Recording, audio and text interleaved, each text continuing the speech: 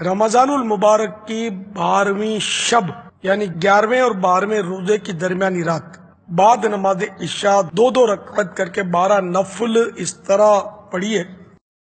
کہ ہر رکعت میں سورہ فاتحہ کے بعد ایک بار سورت الاخلاص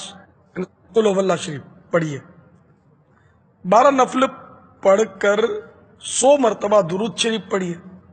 پھر تمام نوافل اور درودوں کا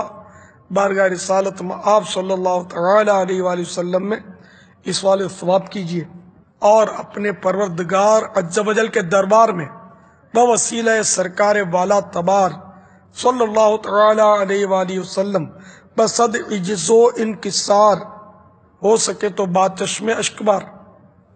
کم از کم بارہ منٹ اپنے لیے یا اپنی بہن بیٹی کے لیے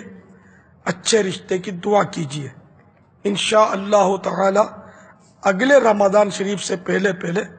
مراد پوری ہوگی۔